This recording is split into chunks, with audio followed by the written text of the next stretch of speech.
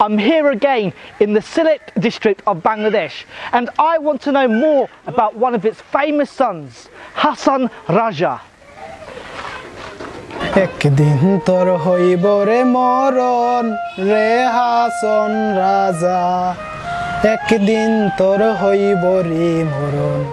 This short film will rediscover the man behind the flute, his impact on Bengali culture and rediscover his faith in Allah.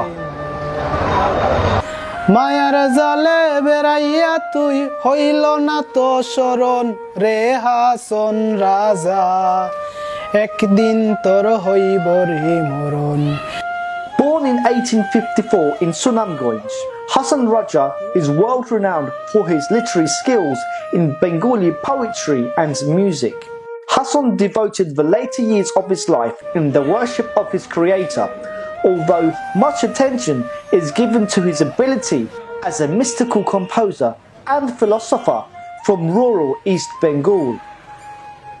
Hason's grandfather was a wealthy Hindu convert to Islam who married into the Muslim aristocracy of Sylhet.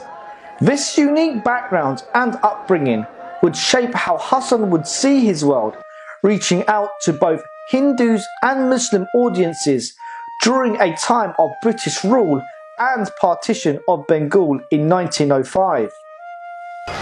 Buildings like this one here in Rampasha leaves us a legacy to what was once Hason Raja's sphere of influence as a wealthy landowner across the region. Hason was the socialite of his time, entertaining many with his wealth. He's often seen as one of the most influential Bengali linguists, alongside Rabindranath Tagore, Kabi Nazrul Islam, and Shah Abdul Karim. It's said after witnessing the devastation of an earthquake striking the region, taking the lives of many, including members of his own family, Hason would then spend more time in reflecting on the purpose of life and the existence of God, which became an increasing theme in his mystical poetry.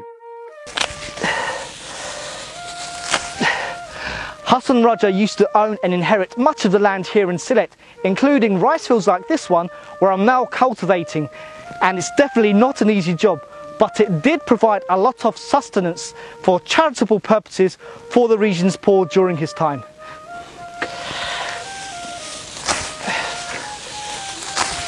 Many of Sylhet's inhabitants would have been illiterate and reliant on the harvest from the rice fields as well as rearing livestock. Their entertainment would have been in the form of storytellers, poets, and artists who would perform both within the courts of the powerful as well as to the commoners within their locality.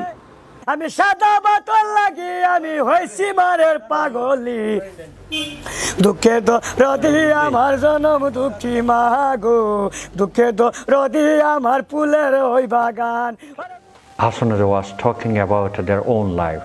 Shamarin Dewan is a direct descendant of Hason, spanning almost four generations. He returned back to Bangladesh after a career in social services in London and helped set up the Hason Raja Museum in Sunamganj, where he personally keeps the memory of his great grandfather alive. Hason Raja was a man of devotion and meditation to Allah, you know, uh, and uh, this, uh, you know, thinking, this devotion, this so much in depth, uh, you know, all the time thinking about God, Allah, and the short life in here in this world. Individuals like Shamarin have gone to great lengths to preserve the memory of one of Bengal's most famous sons, and his poetry is still shared today by Hindus and Muslims alike.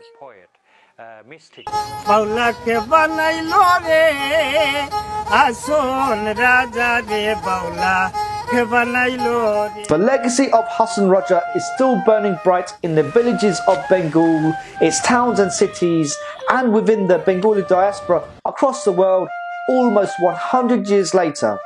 And it will continue to be preserved by those who perform his words. Shamarin has advised me that there's someone in the village who actually sings in Allah's name and who has been inspired by Hason Raja's lyrics. So let's go inside and discover her.